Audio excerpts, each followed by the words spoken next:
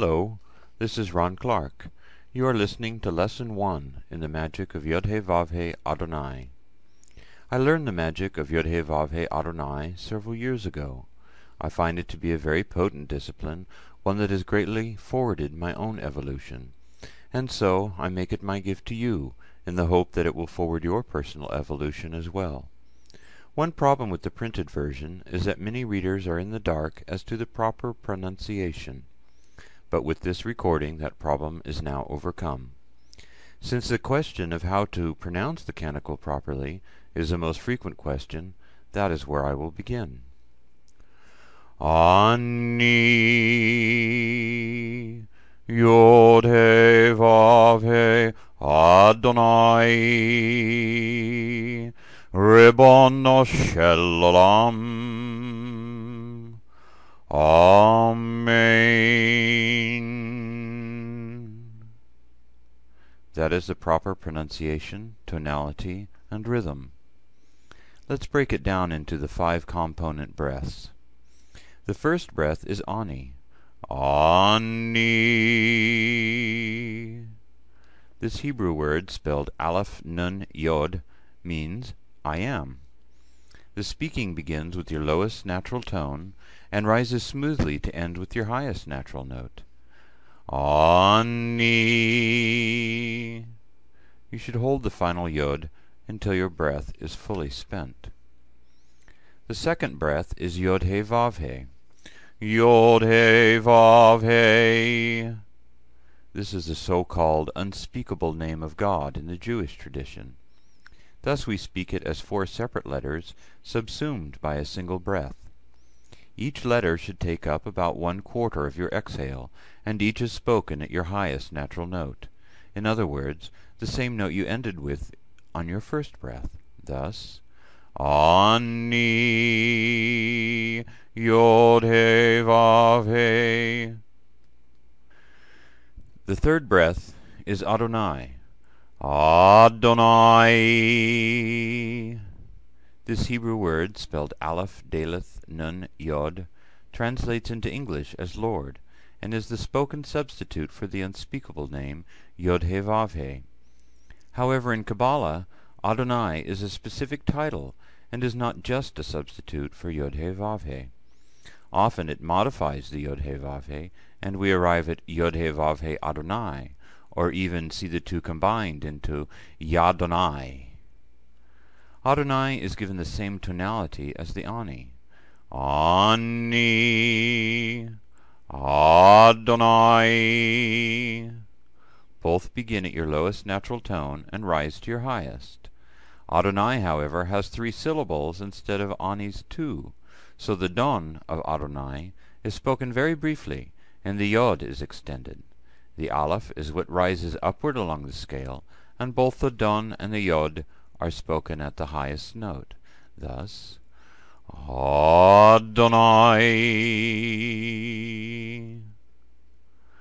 The fourth breath is the phrase Ribono Shel Olam. Ribono Shel Olam. This Hebrew phrase translates into English as Master unto the ages, or alternately, Master of the universe. The universe in this case is the entire temporal realm, so I prefer unto the ages over of the universe. The first word of this phrase, Ribono, means master, but not in the slave driver sense. You will note that it shares the same Hebrew root as the word rabbi, and this is the sort of mastery implied here.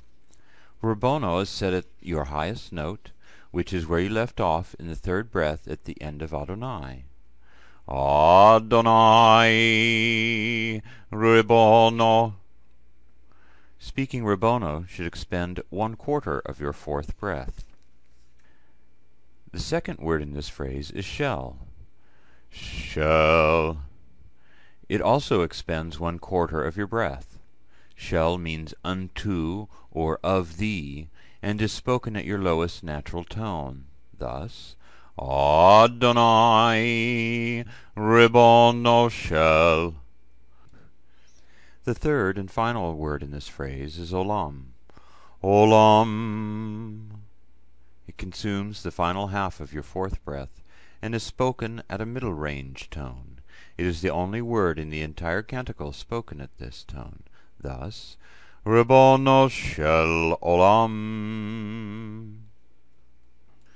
The fifth and final spoken breath is the word Amen. Amen. This is a common ending for prayer in the Judeo-Christian tradition. Its meaning and the philosophy behind it, however, are very complex.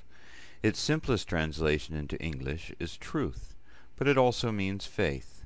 It's composed of the letters Aleph, Mem, Nun, and has two syllables. Therefore it is spoken exactly the same as the opening Ani, with each syllable receiving equal breath. Thus, Amen. So, let's put it all back together. Ani. Inhale. Yod He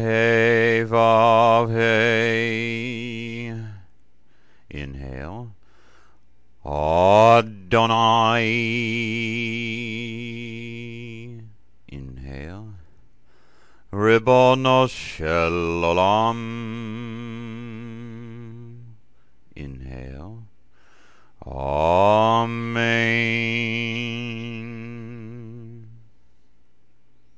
Let's try it together. Speak with me this time.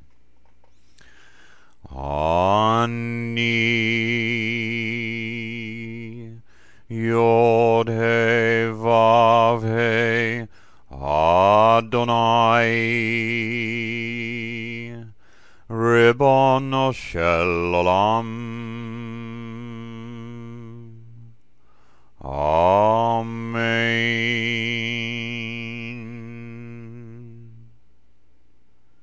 And again. Ani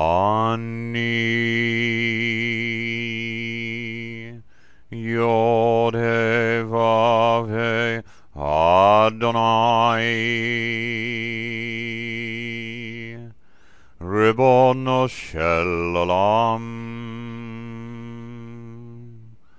Amen.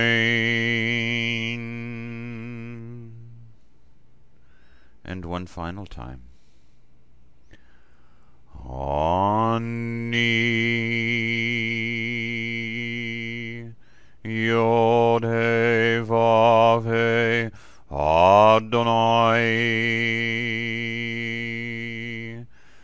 Ribono Shel Amen.